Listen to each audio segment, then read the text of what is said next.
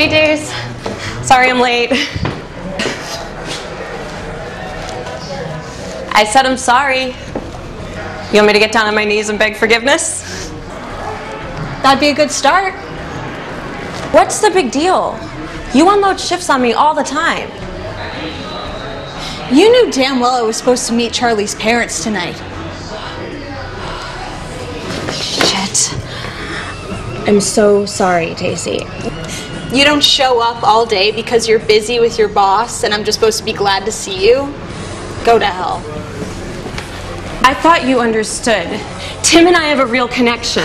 Yeah, his wife. I've got news for you. A married guy fucking his babysitter is nothing special. Believe me. Fuck you, Daisy. Oh, I'm sorry. It's an intellectual relationship. Yeah, something you wouldn't understand. Fine. So he's gonna get a divorce, leave his family, and the two of you are just gonna live happily ever after? It doesn't work like that. Can you get that through your head? Oh, look who's talking. The great Daisy, nobody's fool. Gets bought off with a dress. You know, you should really start charging cash for your services.